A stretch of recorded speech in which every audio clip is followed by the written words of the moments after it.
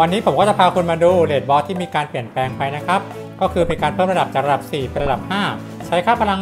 40,000 แล้วก็เดี๋ยวมาดูกันนะครับว่าเจ้าบอสตัวใหม่อย่างเจ้าแคคเตอร์ที่เป็นกระบองเพชรเนี่ยมันจะโหดแค่ไหนนะครับ รอบนี้นะครับก็จะเป็นการแพ้ทางธาตุมืด อย่างเจ้าดาร์กช็อกโกนะครับแล้วก็ธาตุแสง อย่างเจ้าตัวใหม่ผิวเลมอนนั่นเอง แต่จริงๆแล้วสำหรับคนที่ปั้นครีมโซดาหรือว่าเจ้าข้าวลายนะครับมาแบบเต็ม maxเพื่อลงในรอบก่อนๆเนี่ย 4 ดาว 5 ดาว แล้วก็ artifact แบบดาวเยอะๆเนี่ย ก็ยังลงได้อยู่นะครับ แค่ damage ลดลงไปประมาณ 30%ซึ่งมันก็ถูกชดเชยได้ด้วยค่าพลังกับ skill play ของผู้เล่นอยู่แล้วนะครับ สิ่งที่เปลี่ยนไปเป็นอย่างแรกเลยนะครับ ก็คือระบบพรแห่งหยดโกโก้นะครับ ระดับ 3 ระดับ 4 ระดับ 5 เนี่ยจะได้รับพรพอยพรนะครับ เมื่อเล่นจบ แล้วก็รวมถึงถ้วยรางวัลด้วยนะครับ เป็นคะแนนเพิ่มเติม ในระดับที่ 3 นะครับ จะได้ point อยู่ที่ 60 ระดับ 400 แล้วก็ระดับ 520 ต่อครั้งนะครับ แล้วก็ยังได้รับพอยพรเพิ่มเติมจากถ้วยรางวัลนะครับ อย่างเช่นการทำ damage สูงสุด การไม่ตายเลย หรือการช่วยเหลือเพื่อนๆนะครับในการฟื้นคืนชีพเป็นต้น เมื่อเจ้าเก็บพรแห่งโกโก้ตัวนี้เต็มนะครับก็คือเต็มที่ 6,000 เนี่ย มันจะการันตีนะครับตั้งแต่ระดับ super epic ก็คือสีแดงขึ้นไปนะครับ สีแดงกับสีทองทันที 100%จากนั้นนะครับพอยพอจะถูก reset เป็นศูนย์ใหม่นะเพื่อให้เก็บแต้มอีกครั้ง ก็สำหรับคนที่แบบเกลือมากๆจริงๆอย่างของผมเนี่ยลงประมาณ 50-100 รอบบางทียังไม่ได้แดงสักชิ้นเนี่ย เจ้าพอยพรก็จะการันตีให้นะครับ ก็คือคิดว่าไม่น่าจะถึง 50 ครั้ง เพราะว่ามันจะเป็นถ้าเกิดในระดับ 5 นะ 120พอยต์เนี่ยคูณทั้งหมด 50 ครั้งก็คือ 6,000 แล้ว ซึ่งถ้าเกิดบวกกับพวกถ้วยรางวัลด้วยเนี่ยก็น่าจะน้อยกว่านั้นสักประมาณ 40กว่าครั้งนะครับ ก็น่าจะได้ครบแล้ว อีกอย่างหนึ่งที่เปลี่ยนแปลงนะครับก็คือเปอร์เซ็นต์ในการปรากฏของหีบสายลุงนะครับในระดับ 5 จะสูงกว่าระดับ 4 นะครับจาก10 ก็คือจาก 10%นะครับเป็น 12%ต่างกันต่างกันแค่ 2 นะ ในขณะที่หีบอื่นๆนะครับหีบทองจะอยู่ที่ 35ดับ 4 จะเป็น 30 นะครับ แล้วก็ระดับสุดท้ายมันจะลดลงนะหีบบอลเนี่ย53ระดับ 5 แล้วก็หีบบอลในระดับ 4 นะครับ 60 ในขณะที่ของข้างในไม่แตกต่างกันนะครับก็คือได้เท่ากันเปอร์เซ็นต์แบบเป๊ะๆเลยนะดังนั้นสำหรับคนที่ไประดับ 5 ไม่ไหวจริงๆนะครับไม่ว่าจะด้วยค่าพลัง skill play หรือใดๆก็ตามนะครับ ก็ยังลงระดับ 4 ได้อยู่นะครับ ไม่น่าเกลียดมากนะต่างกันแค่ 2%เอง สุดท้ายโอกาสในการปรากฏก็อยู่ที่ดวงอยู่ดีนะครับ แล้วก็กติกา season เนี่ยปกติมันจะมีพายุ 4 อัน แต่ว่ามันถูกปรับใหม่เป็นเหลือ 3 อันนะครับจากประกาศล่าสุดอันนี้นะครับก็คือปรับความยากของโหมด raid ระดับ 3 4 5 ก็จะมีนะครับในส่วนของเปลี่ยนแปลงไม่ให้หนูโจคือพวกคีกี้นะ ไม่ออกมาในรอบรอบที่ 2 ที่เป็นลอมบอส2ตัว ที่จะมีตัวปืนตัวหนึ่งแล้วก็อีกตัวเป็นกระบองเพชรที่สร้างความรำคาญอะ เพื่อไม่ให้เราแบบโฟกัส หลุดมากเกินไปอะก็คือแบบมันมีอะไรให้เห็นให้หลบเยอะเกินไปนะครับเขาก็เลยปรับออก แล้วก็ลดความเร็วการเคลื่อนที่ของแคคเตอร์คือบอสกระบองเพชรนะครับในขณะที่มันยิงปืนไล่ล่านะแล้วก็สุดท้ายก็คือนั่นแหละลมหมุนนะครับระดับ 5 นะครับจาก 4 อันเหลือ 3 อัน เพื่อไม่ให้เป็นภาระมากเกินไปเพราะว่าจากที่ลองกันมานะครับประมาณวันหนึ่งเนี่ยถือว่าค่อนข้างยากในช่วงแรก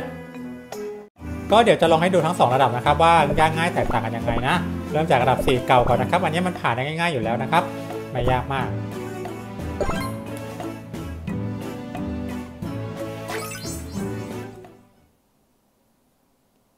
ในสำหรับคนที่ยังเล่นแบบครีมโซดาอยู่นะดาวสูงๆก็ยังเล่นได้ปกตินะครับ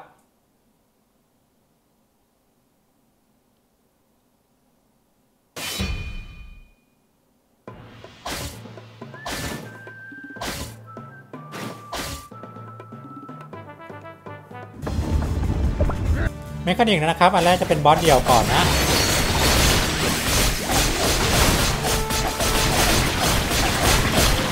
เนี่ยไอ้หนูโจที่เขาปรับปอก็คือไอ้ตัวที่คิกกี้ที่วิ่งไปวิ่งมานั่นแหละในปกติ2ตัวนี้มันจะต้องมีไอ้คิกกี้ออกมาใช่ไหมเขาก็ปรับปอกแล้วครับเพราะมันมีทั้งพายุ มีทั้งกระบองเพชร มีทั้งตัวเอออ่าแล้วก็วิธีการนะครับลอยตัวกระบองเพชรมาชนเพื่อนมันนะจะให้มันหยุดวิ่งทั้งคู่นะครับประทันแล้วก็ ยิงไปเลย ถ้าเกิดเก็บได้เก็บตัวกระบองเพชรก่อนก็ดีนะครับ เพราะว่ามันน่ารำคาญ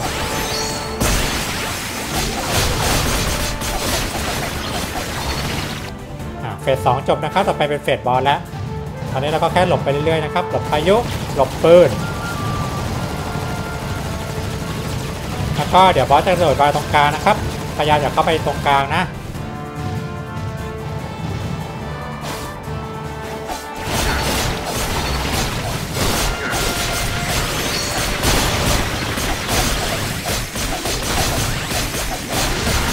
แล้วเข้ามาตรงนี้นะครับล่อบอสให้มาชนกระบองเพชรนะครับเหมือนเดิมเหมือนในการเล่นปกติเลยสองครั้งนะครับให้มันมึนพอสตาร์ทนะครับจัดการ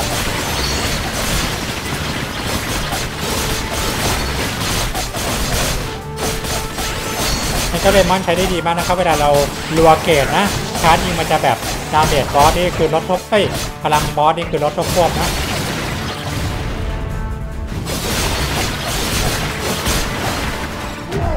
เบสก็จะง่ายๆแบบนี้นะครับ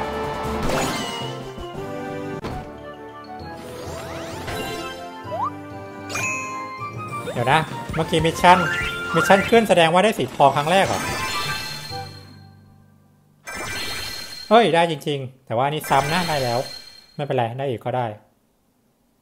อ่าแล้วก็พรถูกรีเซ็ตทันทีนะครับพอได้ของทองอ่าแล้วก็ถ้วยรางวัลนะครับ ประมาณ 3 แต้ม 5 แต้มถึง 7 แต้มมาแหละโอเคอ่าดวงดีนะครับรอบสำหรับรอบนี้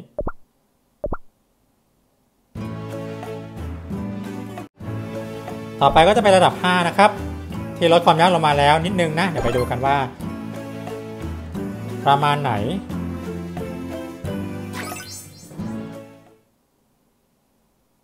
ถ้าเกิดมีตัว support อย่างพวก พลิกป่นนะครับกางโล่ร็อกสตาร์นะครับช่วย buff โจมตีหรือว่าคาร์โมไมช่วย heal เนี่ยมันก็ช่วยลดภาระผู้เล่นไปได้เยอะนะ เพราะว่าหลักๆเลยคือเรื่องของการหลบนะครับ หลบ skill ให้ได้อย่าให้ตาย ส่วนใหญ่ damage มันเพียงพออยู่แล้วแหละไม่ค่อยยากเท่าไหร่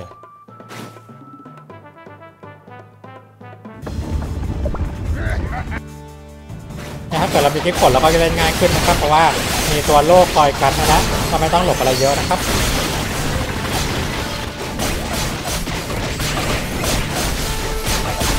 ยายามยิงบอสเป็นหลักนะลูกๆปล่อยมันไปจบเฟสแรกนะครับ ต่อไปบอสสองตัว ให้มองตัวที่เป็นกระบองเพชรสีเขียวให้ดีๆนะครับอย่าเข้าใกล้มันนะ แล้วก็ล่อมันไปนะครับ ล่อไปหาเพื่อนมัน ให้มันชนกันเองนะครับ แล้วไม่จับมือมันจะง่ายเลย เราก็จัดการเจ้าตัวที่เป็นกระบองเพชรก่อนนะครับ อ่ารัวปืน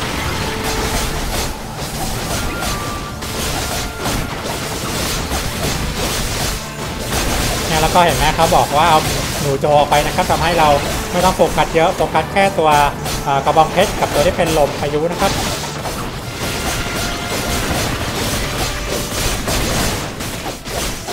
จบ phase สอง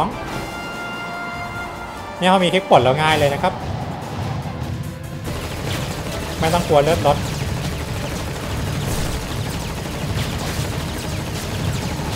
แต่ถ้าจะทำเวลายังไงก็ต้องตัว damage สี่ตัวนะ เราใช้ skill play กันนิดนึง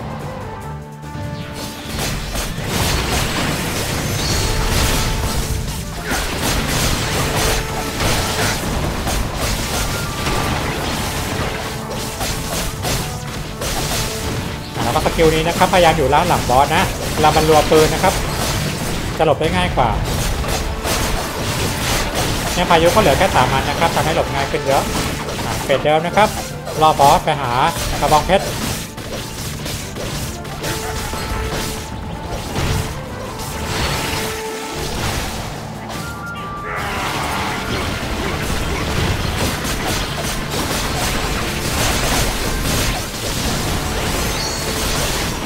นี่ถือว่าง่ายขึ้นเยอะนะครับ เพราะว่าพายุเหลือ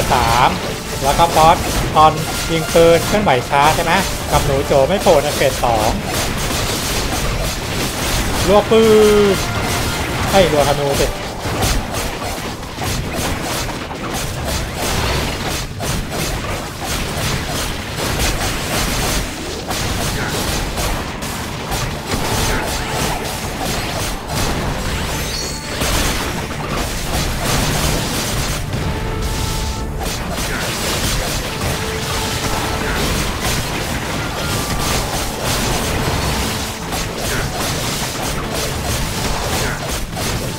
บร้อยนะครับ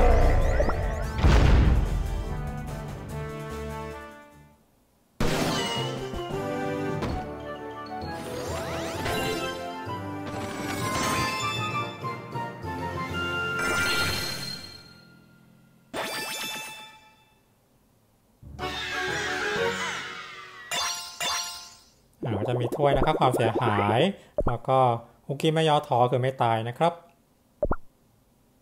ทั้งหมดสำหรับการเปลี่ยนแปลงของ raid boss ใหม่นะครับก็ประมาณนี้นะ แล้วก็บอสเจ้าแคคเตอร์นะ กระบองเพชรก็ง่ายๆประมาณนี้ ใช้ skill play กันนิดนึงสำหรับวันนี้ผมปิกซี่ขอตัวลาไปก่อน สวัสดีครับ